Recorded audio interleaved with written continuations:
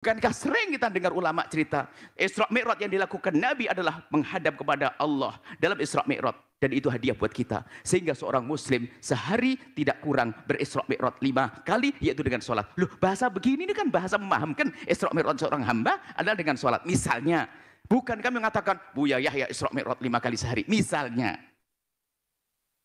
ini bukan pembelaan kepada Sayyidina Fakih Muqaddam dan sebagainya. Kita membela kebenaran. Sekarang lagi rame orang-orang itu memperbincangkan tentang Fakih Muqaddam yang katanya bisa mi'raj 70 kali dalam sehari. Hal itu tentu saja memicu kontroversi dan tentu saja umat muslim tidak akan percaya tentang hal seperti itu. Dan sekarang kita lihat bagaimana sih reaksinya para habaib dan bagaimana pula reaksinya para mukibul. Bagaimana reaksinya para ustadz atau para kiai yang selama ini melindungi dan membela klan Ba'alwi. Salah satunya adalah Buya Yahya. Dan di sebuah forum, Buya Yahya ini mendapat pertanyaan dari jamaahnya tentang hal tersebut. Kita simak dulu pertanyaannya. Oleh beberapa Habib dan Kiai mengenai Habib Fakih Al-Muqaddam yang dikatakan mampu mengalami mi'raj Ya. selama 70 kali dalam sehari.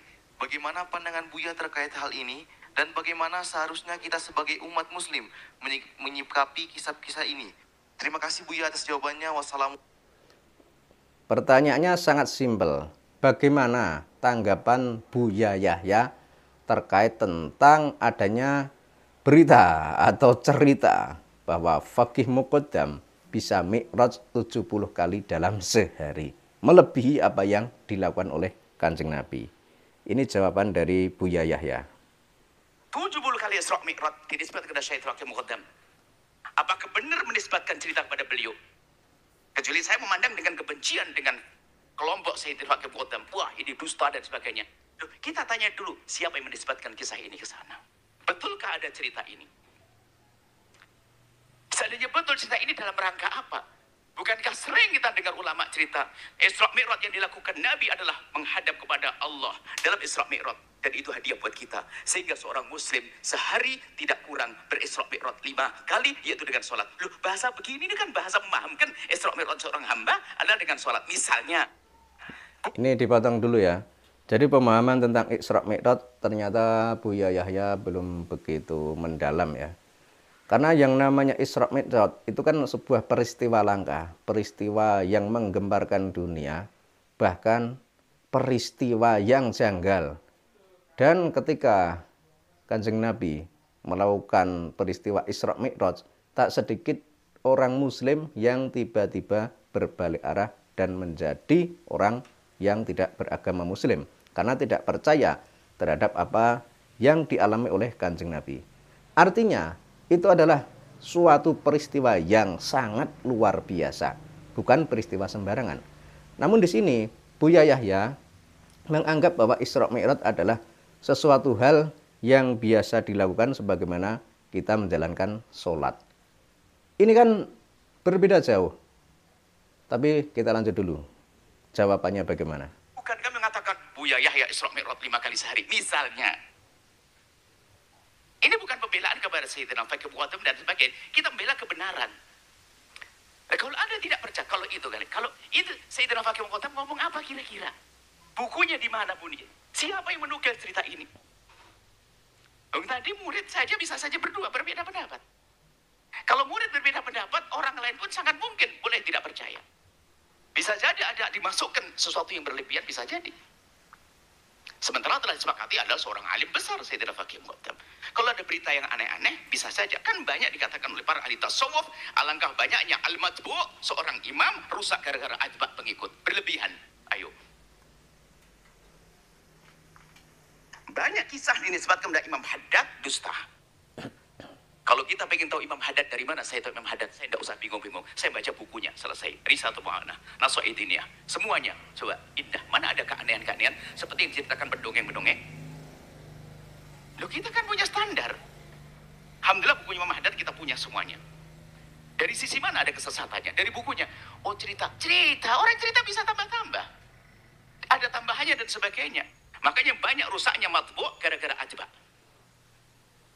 Imam besar Syabdul Qadir Jani banyak dalam kitab-kitab cerita tentang keramat-keramat Syabdul Qadir Jani yang gua. Wali Songo banyak keramat-keramat palsu. Sampai ada satu catatan langsung kami dustakan. Ada satu sunan di Jawa menikah dengan Yuror Kidul. Nggak percaya bohong itu. Kok sunan wali menikah dengan Yuror Kidul? Ini kayak begitu. Katanya keramat. Loh keramat kok begitu? Nggak ada. Ayo misalnya. Eh, kita kan punya standar ilmiah. Oh itu betul ada di buku ini. Siapa yang menukil buku itu? Kemudian setelah itu apa? Anda tidak percaya nggak ada masalah. Selesai. Itu ya penjelasan dari Buya Yahya. Kelihatannya menarik, tapi ternyata cuma muter-muter.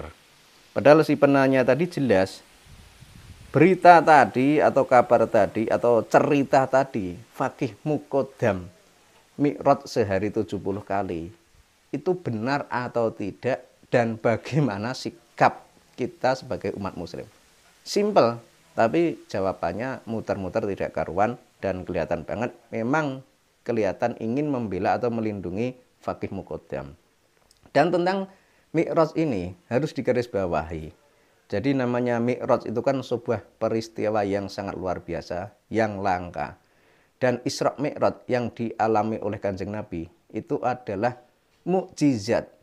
Dan yang namanya mukjizat itu yang bisa mendapatkannya hanya para nabi dan rasul. Sementara kalau umat muslim di bawahnya kanjeng nabi itu tidak ada mukjizat, adanya karomah. Kemudian kalau misalnya seperti yang dibelakan oleh Buya Yahya tadi, Fakih Mukodam misalnya itu tadi Mi'raj 70 kali. Lah ini kan sebuah apa cerita yang menyaingi mukjizat. Padahal di sini katanya karomah. Jadi pakai logika saja, masa karomah bisa seimbang dengan mukjizat. Jadi sudah tidak masuk akal penjelasannya. Kemudian tadi terkait tentang adanya cerita Wali Songo yang menikah dengan Ratu Kidul. Cerita-cerita kayak gini itu kan berdasar kultur budaya atau cerita masyarakat.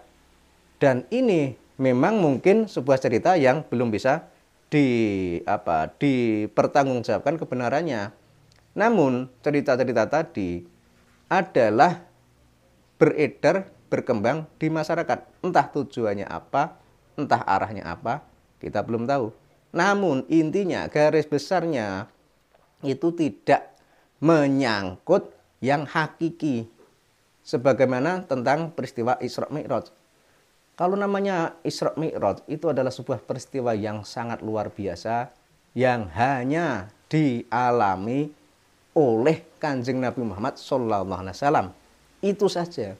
Kemudian jika ada orang menceritakan bahwa fakih mukodam bisa mikrot 70 kali dalam sehari. Ini kan sama saja menyaingi kanjeng Nabi, menandingi kanjeng Nabi, dan bahkan malah seolah-olah lebih tinggi daripada kanjeng Nabi. Ini kan sebuah cerita yang konyol. Jadi di sini yang dipersoalkan bukanlah siapa yang bercerita, bukanlah benar tidak cerita itu berasal dari Fakih Mukodam, atau apakah Fakih Mukodam pernah menceritakan hal itu, bukan masalah itu. Namun dengan adanya cerita tersebut, itu sudah menjadi tanda atau menjadi garis besar bahwa cerita-cerita tersebut terbangun atau terbentuk oleh entah siapa yang arahnya ingin menandingi kanjeng Nabi. Dan ini sangat berbahaya. Karena siapa pun yang ada di dunia ini yang beragama muslim dalam segala hal tidak mungkin bisa menyamai kanjeng Nabi. Apalagi kok sampai menandingi.